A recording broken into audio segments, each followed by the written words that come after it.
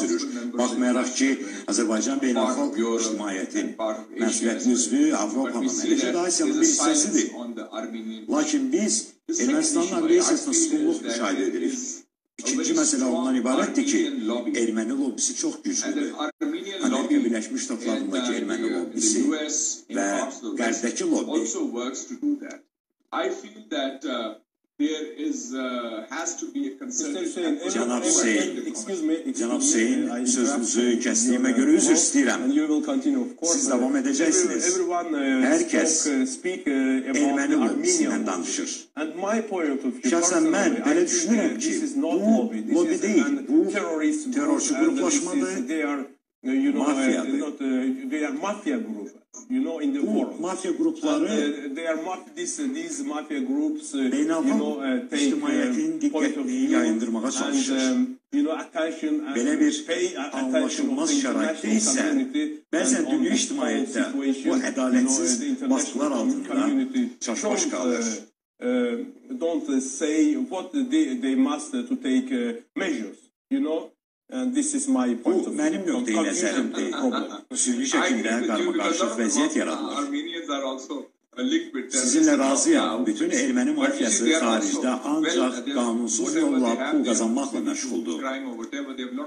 Onlar həmin qanunsuz qazandıqları pullarla Avropa və Amerika Birləşmiş Ştatlarında siyasətçiləri ələ almağa çalışırlar. Erməni qara propagandasının uğur qazanmasının səbəblərindən biri də budur. Bu prinsipsiz və ədalətsiz fəal siyasətdir. Bu təkcə qanunvericilik və diplomatiya sahəsində baş vermir. Siyasi cəbhədə də müşahidə olunur.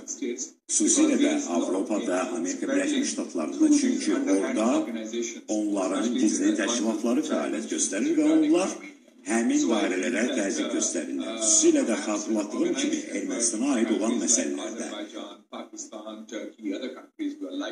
Bu təşkilatlar Azərbaycan, Türkiyə, Pakistan və digər ölkələrin birliyinə qarşı da fəaliyyət göstərirlər. Bu qeyri-qanuni hal tarix boyu müşahidə olunur. Bu çox aydındır. Qara propaganda medianın köməyi ilə cəmiyyətə sırınır.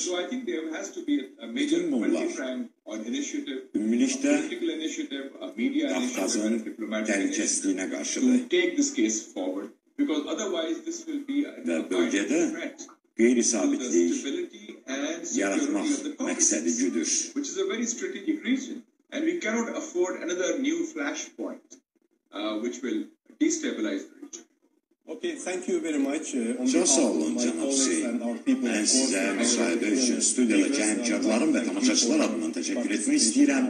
Proqramımızda iştirakınıza görə də çox sağ olun.